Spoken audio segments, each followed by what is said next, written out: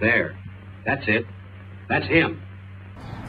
All right, folks, this is another one of my downtown series. Like I said, right there, across street from the parking garage. What I'm talking about today is uh, Cleveland kidnappings and rescues. Now, if you haven't heard, which you probably have by now, it's been all over the news. Three women, or women now, who were little girls, teenagers, were kidnapped by three brothers.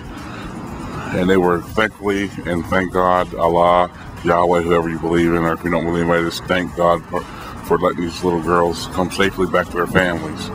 But at the same time, you have to wonder what type of sick fuckers were willing to kidnap little kids. Never mind boy or girl. There are people who still do this nowadays. Kidnap little kids. I mean, this is this is this is like a, a, a epidemic. This is really a sick and shameful. I mean, and and this bad part it, I guess there were signs that these little girls may have been in the house, but well, your neighbors really didn't pay too much attention.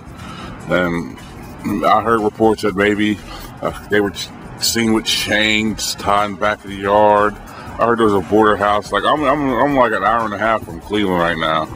And Cleveland, Clevelanders, let me tell you something about Clevelanders. Clevelanders are much like most of the people on the Midwest, East Coast. Uh, you know, they're manufacturing city, mostly mind their business type people. But I, I'm guessing there were signs they were saying. I don't know, but it's just it's just a shameful that we live in a society today that like these little sick fucks can walk around freely. It was up to me. Well, it was up to.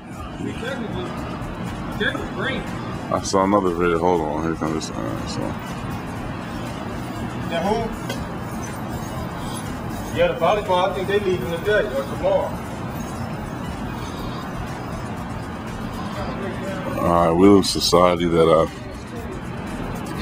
rewards fuckers like these. They, you say, how do you reward these fuckers? Because all you do with these fucking people is you send them to your prisons, which they deserve to be there.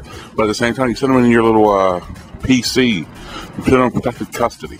You won't put them in the general population because why? You know what's going to happen to you. At the end of the day, I advocate. I hate to say it, don't do it on my behalf. I advocate putting putting double tap them. Seriously, there's no cure for these sickos, and the double tap is the only cure.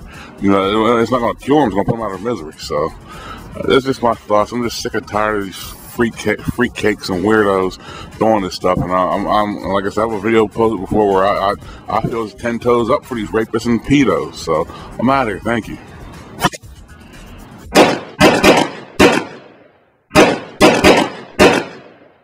There. That's it. That's him.